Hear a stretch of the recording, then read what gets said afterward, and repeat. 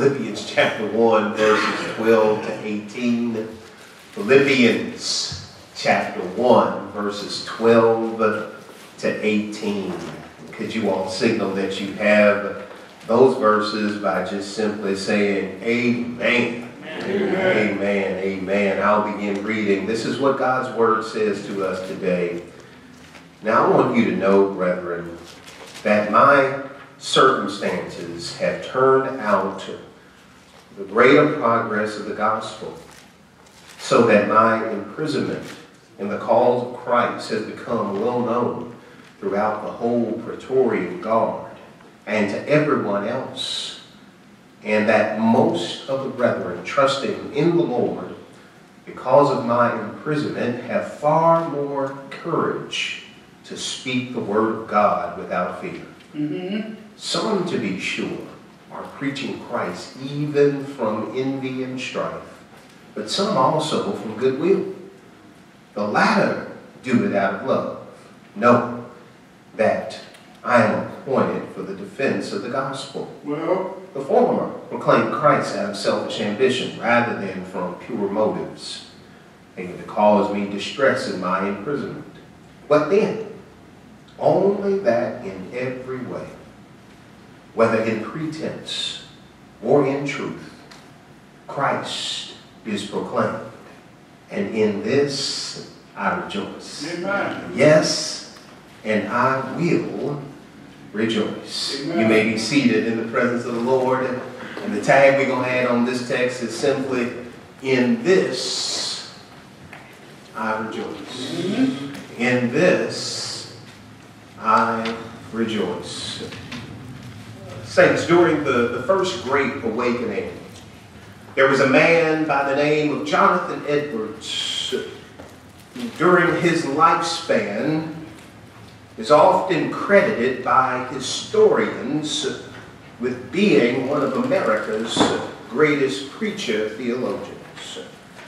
And I put the emphasis on uh, being credited by historians as one of America's greatest preacher theologians because uh, I believe Jonathan Edwards uh, was a man of uh, clay feet. And the reason I believe he was a man of clay feet is because Jonathan Edwards, uh, as great as a preacher and theologian he was, owned slaves to the day of his death.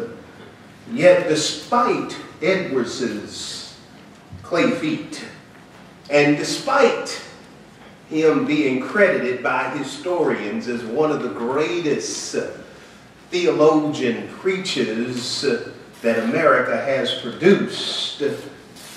Edwards' life wasn't exempt from difficult circumstances. As a matter of fact, uh, history records that Jonathan Edwards was fired from his church in Northampton and found himself in obscurity amongst the, Mo the Mohican Indians and the Mohawk Indians. Yet in obscurity, he used this time that he had to write some of the most influential books that are being read even to this day. Yes, books such as The Freedom of the Will, and uh, books such as uh, The Dissertation Concerning the End for which God created the world were written during this time of Edwards's obscurity and are still required reading for many a seminarian student and shade tree theologians as well. And so in surveying Edwards's circumstances, one would think that the opposition that he faced in his lifetime would become a hindrance. Instead, the opposition, him being fired from his church, was an opportunity for the advancement of the gospel. Because, church, it was Edwards who argued that the end for which God created the world was not human happiness, but his own glory. Well, it was Edwards who argued since true happiness comes from God alone, even our own happiness is an extension of God's glory. Talk to me. And for this reason, Edwards argued that there can be no true happiness, and I would add true joy, unless uh, our true happiness, our happiness, our joy is found in God. God. So if I could rush to uh, summarize my sermon in one sentence, I would simply tell you today that saints, when we survey even our own circumstances and the opposition that we face from both friend and foe alike, we can have joy in our God mm-hmm. because we know that the adversity that we are facing is able to be used by our God to advance the gospel. And so when we come to the verses that are before us today, we encounter a man in the Apostle Paul who even amidst difficult circumstances, could rejoice in those difficult circumstances. He wasn't uh, rejoicing because of the circumstances, but he was rejoicing in those circumstances Yeah. because he understood that those circumstances were being used by the Lord to advance the gospel. And saints, don't you all know today that God is able? Yes, he is. He's able to bring good My God. Even out of all the bad that we experience in this life for His glory. So we ought to be able to rejoice. Amen. For we know that God causes all things mm-hmm. to work together for good or the good of those who love God and have been called according to His purpose. And church, you know when I say all things, I really mean all things. I don't mean some things, I mean all things. The best things and the worst things that God uses for His glory. Yes, God uses uh, our successes. Yes, God uses even our sadness and our, our doubts and our fears. He uses them all for His glory. Talk to me. And so Paul is often referred to as the apostle of joy. And we understand why he is often referred to as the apostle of joy because, uh, listen, it's one thing to have joy outside of prison. Well- it's another thing to have joy while you are in prison. And so he got joy while he is in prison. And so understand, y'all, joy is about our relationship that we have with the Lord.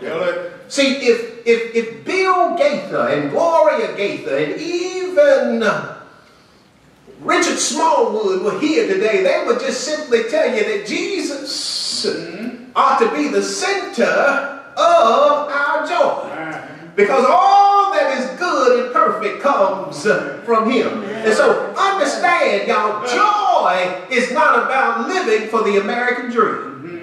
Joy is not about the abundance of the possessions that we may or may not have.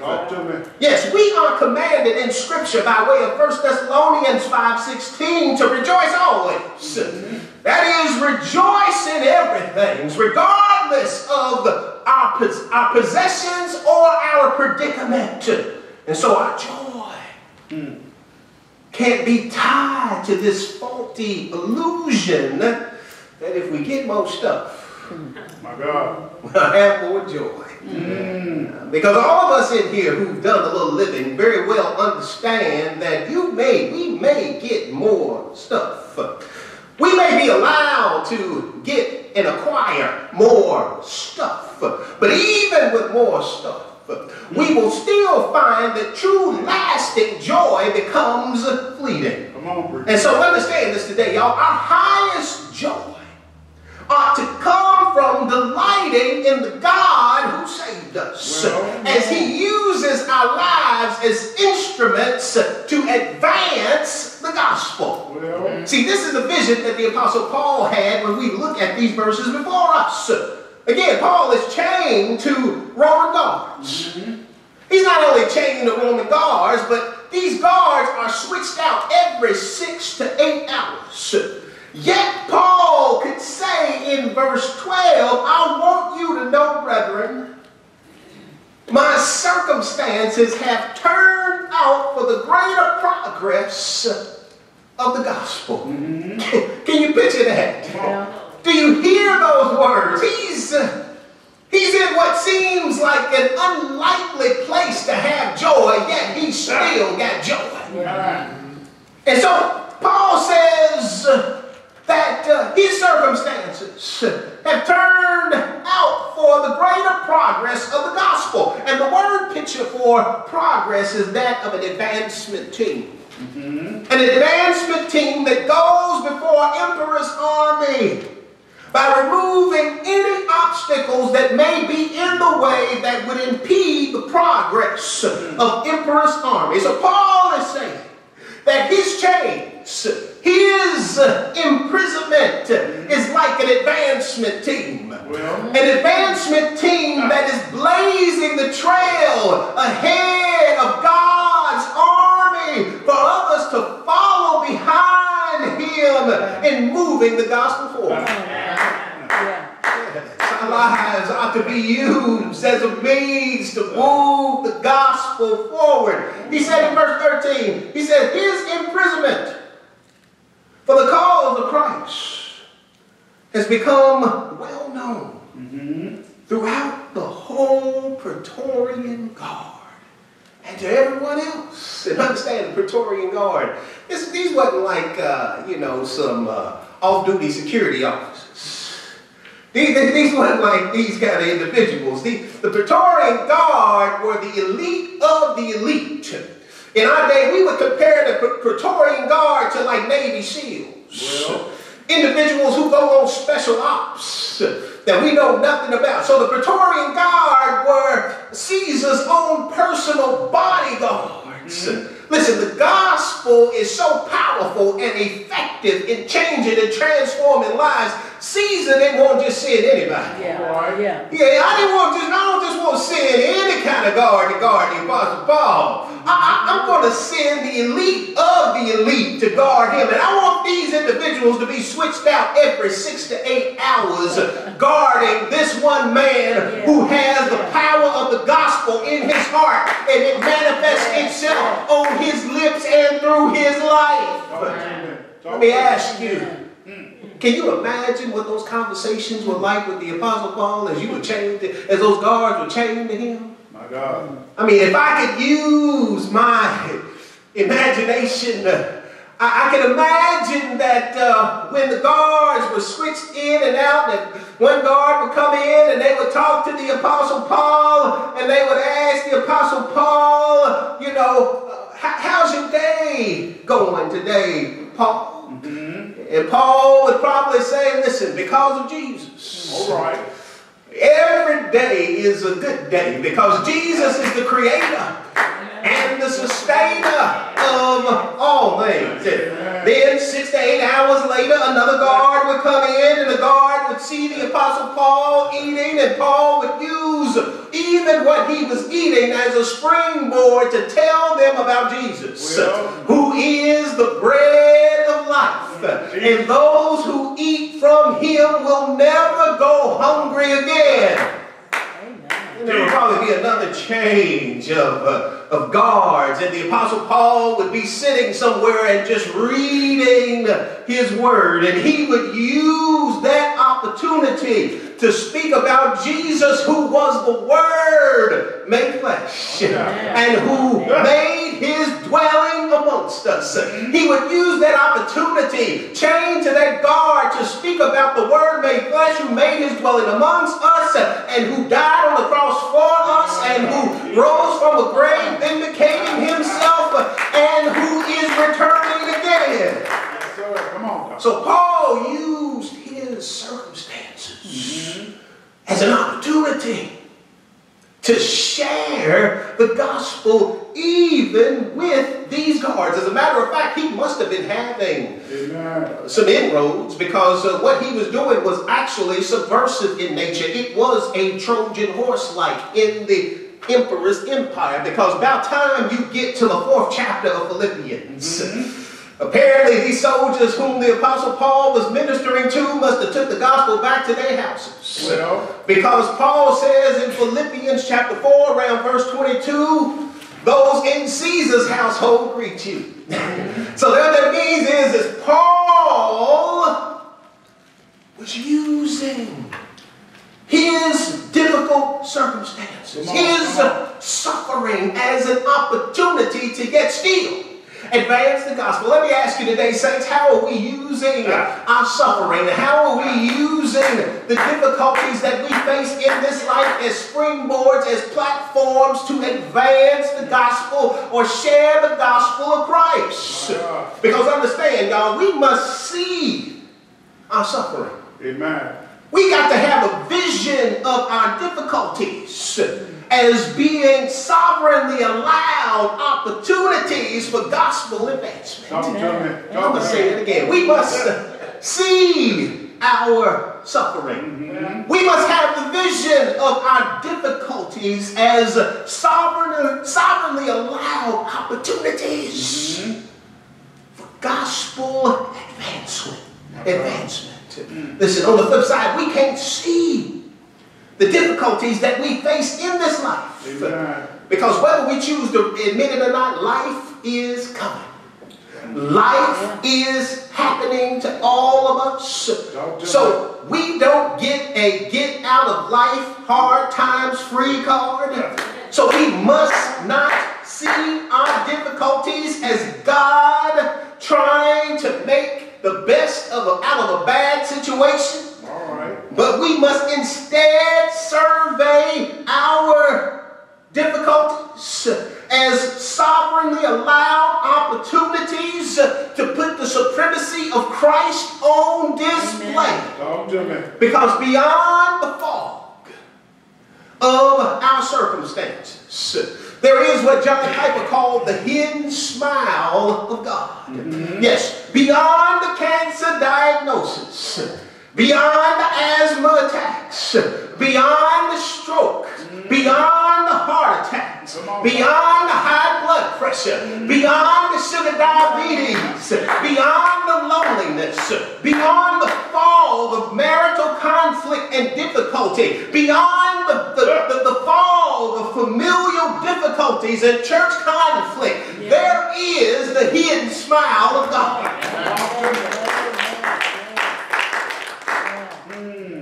So my question is for you today, must Jesus bear the cross alone And all the world go for it? No, there's a cross for everyone. Amen. And there is a cross for me. Mm-hmm. So saints, let us not waste our difficult circumstances. But instead, let us use our difficult circumstances to rejoice in the God who is going to see us through Come on. Come on. these difficult circumstances. Because the truth of the matter is, this chapter in your life, this chapter in my life, is not the final chapter that's being written regarding our lives. Because the last time I checked, the Lord, the sovereign Lord of the universe, reserves the right to write, to He reserves the right to write a epilogue concerning my life and your life. He, he reserves the right to tell the final story in regards to how our life is going to turn out and how our life is going to end. Preach. Preach, dog. Because of that, we ought to have a reason to rejoice. Amen. Because Paul did. Paul had a reason to rejoice because not even his circumstances could keep the gospel from advancing. My God. Isn't that amazing? Amen. That regardless of what we're going through, Amen.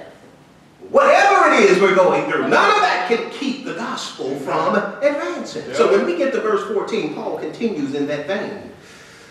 That vein of his circumstances, his imprisonment, turning out for the greater progress of the gospel. Mm-hmm. Because in verse 14, Paul writes, And that the most of the brethren, trusting in the Lord because of my imprisonment, have far more courage to speak the word of God it? without fear. Y'all see that? Amen. The gospel is advancing amongst soldiers.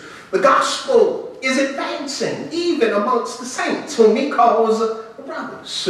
But, but notice, Paul says most of the brethren mm-hmm. were motivated to, to speak the word of God without fear My God. as a result of his imprisonment. Listen, church, we must never forget the messenger Well, may be in chains, amen. But the message is never in chains. The messenger may find themselves in chains, but the message of the gospel is never in chains. If I can make it more plain for you, I would say you may find yourself in a, a, a chained up predicament. Mm-hmm. But the message of the gospel is never chained up. We may find ourselves chained to some difficult health circumstances, but the gospel is never chained up by our hurt health circumstances. We may find ourselves chained up to a job that we perceive is a dead end job, but understand the gospel is never chained up, regardless of what we perceive our dead end job as being. We may find ourselves chained to a dead end relationship, but even in spite of our dead end relationship that we may feel that we chained up to, the gospel is never chained. The message of the gospel is never chained to our dead end relationship. As a matter of fact, God can use what it is we are chained to. Yes. What we feel like we are chained to as a means to advance the gospel. Amen. Come on. This is exactly what he told young Timothy.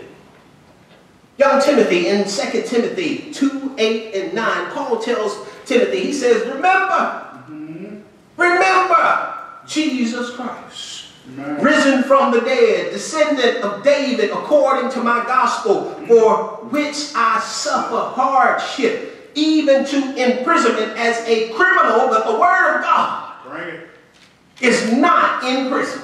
Amen. Saints, the word of God Amen. Is never in prison.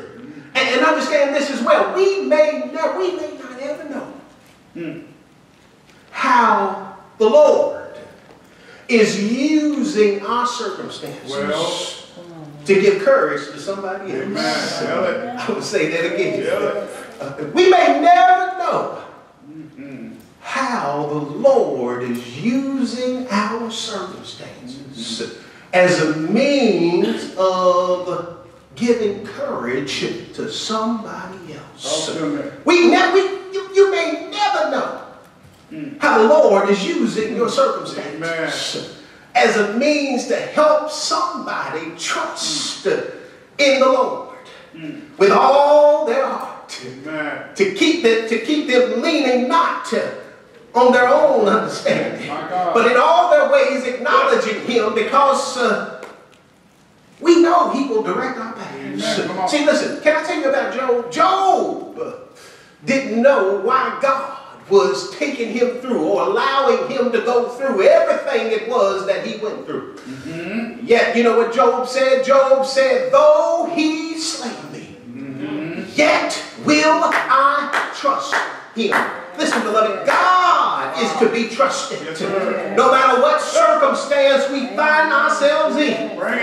Because we are his followers, whatever circumstance we may find ourselves in. What we do know based upon the word is no matter how bad it may get, and it may get worse before it gets better, that God is with us. Oh, yes, he is. He's promised to never, to never leave us nor forsake us. And so Paul says most of the brethren had courage to speak the word without fear. Mm-hmm.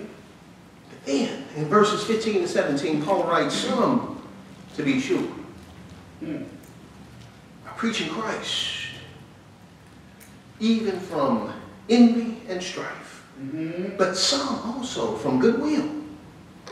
He says, The latter do it out of love, knowing that I am appointed for the defense of the gospel. Well.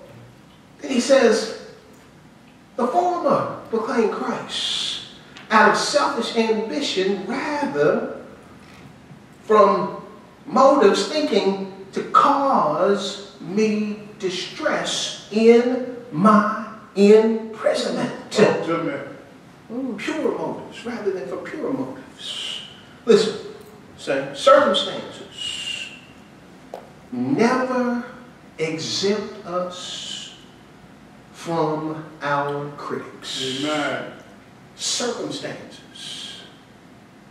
Whatever it is that circumstance may be, it never exempts us from our critics, whether they be friend or foe. Yet, never forget this hmm. That we need to rejoice in our God right. in the face of our critics, mm-hmm. friend or foe. Mm-hmm. Not because of us, but because Christ is being proclaimed. My God. See, there is no Christian who will be without critics. There is no preacher, pastor, who dares to stand tall behind the sacred desk Mm-hmm. who will be without their critics. Talk to me. As a matter of fact, if you're doing anything for the Lord, Yes, yes. you're going to have your critics. Yeah, it's only those who aren't doing anything for the Lord who don't have no critics. And really, you know, that, that's, that's telling because, uh, listen, we can't find ourselves in situations, if we don't live for Christ, where we ultimately will have no critics. Watch out, Doc. Watch Because those who choose to live for Christ will always have critics. I don't care if they're critics from the outside or critics from the inside. If you don't choose to live for Christ in this world, you're going to have some critics. But Paul, he had his critics too. Mm-hmm. And his critics were fellow preachers. My goodness. Yeah. He says, Paul, he, Paul says, some preached out of goodwill and love. Mm-hmm. In other words, they knew why the Apostle Paul was in prison. Mm-hmm. They knew Paul was in prison for the cause of Christ. And they didn't use what Paul was going through for the cause of Christ as an opportunity to kick him while he was down. My God. Mm. Because you know how folk will do, right? Amen. Come on. You ever been through a, a bad situation? You ever been through a time in your life where it felt like your life was going through the south part of Gehenna? and, and those who knew your life was going through the south part of Gehenna used that as an opportunity to, to, to kick you. Talk to me. They use it as an opportunity to kick you while you were down. But Paul said there were some that were not like this. Instead, they used it as an opportunity, as an expression of love and goodwill towards the Apostle Paul. See, listen, when we are living for Christ, there's always going to be those who are going to be for us, and there's going to be those who are against us. But yet, the one thing we can be certain of is that uh, it doesn't matter who's for us or against us, as long as God is with us. So, That's what's up. when we are going through Hmm. a difficult season in life, Well. people are either going to stand with us Hmm. or they'll stand against us. Amen. And so Paul had both. They'll, they'll stand with us, stand against us by stepping on us. Because Paul said uh, in verse 15, he said, There were some that were preaching Christ out of envy and strife. Mm-hmm. It's right there in the text envy and strife. Envy is jealousy Mm-hmm. and more about depriving someone of what needs to be enjoyed. Well. And there was some who had rotten attitudes towards the Apostle Paul. Talk to me. And so they were using his circumstances as a means to attack his reputation because of his chains, because of his position. After all, he was the Apostle Paul. But then there was strife, and, and strife is having heated contention foolish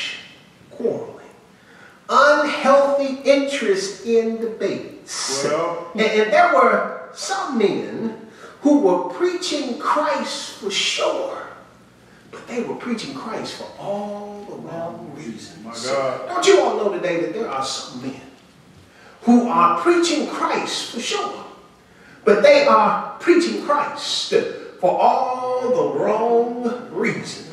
me. Their motivation for preaching Christ is not that Christ would be exalted, but they would be exalted. And listen, they may have their theological T's crossed and their theological I's dotted. But their motivation and their, um, their ambition is wrong. They were not preaching, as we sung this morning, the gospel full and free. Mm-hmm. Instead, they treated preaching as a cutthroat corporate ladder opportunity. Mm. And you know how it is in the corporate cutthroat ladder world where people will step over and step on anybody in order to get to the top. Watch out. They'll make folk who are around them look small in order to make themselves look big. Amen. And so that's what happens in the pulpit a lot of times. You got some preachers who want to make other preachers look small in order to make themselves look big. You got some preachers who act like we in competition with one another, and I'm like, listen, we ain't in competition with one another. We got on the same jerseys. We playing for the same team. I'm not in competition with you, and you're not in competition with me. Only thing that matters is that, that is that Christ is proclaimed. Hence Paul says uh, in verse 17 that they proclaimed Christ out of selfish ambition because they wanted to cause Paul distress hmm. in his imprisonment. And let me show you this. The, the word picture behind distress is causing Paul more pain than he was already experiencing. My God. It's, it's, it's as if they were using Paul's distress and they seen him in chains, in pain, but they were tightening the chains. They were tightening the chains around his limbs in order to cause him more pain. Uh-huh. And so what was happening is, is uh, Paul realized that there were some individuals who were doing that. Right. But yet that Paul has this opportunity. He has this opportunity to proclaim the gospel regardless of his circumstances. And these preachers have this opportunity with, uh, that, that even though they may be doing it for good reasons or bad reasons, Paul is saying, listen, it doesn't even really matter to me because what really matters is so long as Christ is being proclaimed. And so the point is this, y'all. Listen, we don't always win trying to get even with folk Talk to me. who are trying to cause us pain. And, and this was Paul's attitude when you look at verse 18 when he says, What then? Hmm. What then? I mean, what really matters in the big picture of things? Hmm.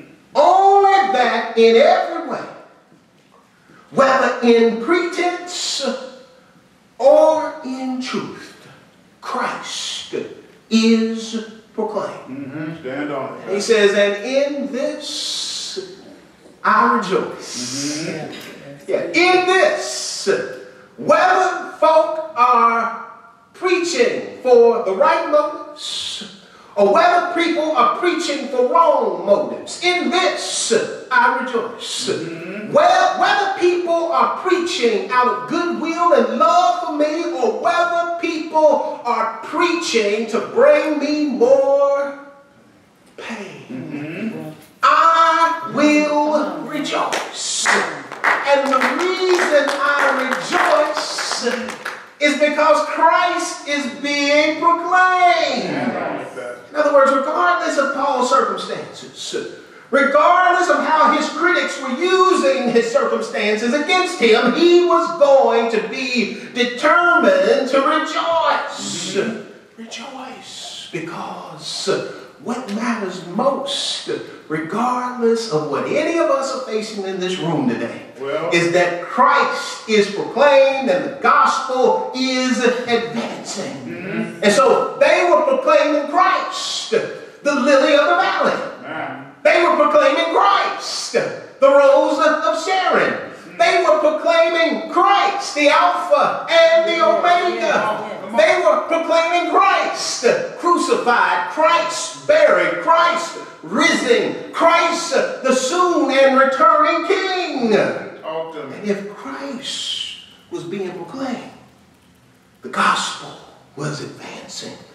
For things don't have to go well for us in order for us to rejoice. Amen. Listen, we can have joy Amen. regardless of whether things are going well for us or not. Because our joy is not dependent upon how well things are going or may not be going. Our joy ultimately has its foundation in God the Father, God the Son, and God the Spirit. And our confidence and our joy is in them regardless of our circumstances. So, church, we can't allow our past, our present, to keep us from rejoicing in the Lord. Amen. Because the reality is, we all going to experience some ups and downs in life. Yes. But we need to learn to rejoice amidst the ups and the downs. We all going to experience some bumps and bruises. But we need to learn to rejoice in the bumps and the bruises. And as I draw near to my close, I want to tell you about two men who learned to rejoice in their circumstances mm-hmm. because it was the year 1555 in Oxford, England. And there were two men, Hugh Latimer and Nicholas Ridley. These two men were burned at the stake under the, the reign of Bloody Mary. And as uh, the executioner came to light uh, the torch, which would be used to burn their very bodies on the stake alive, Hugh Latimer said to his companion who was being burned at the stake with him, he said, Be of good cheer, Well, Master Ridley, and play the man.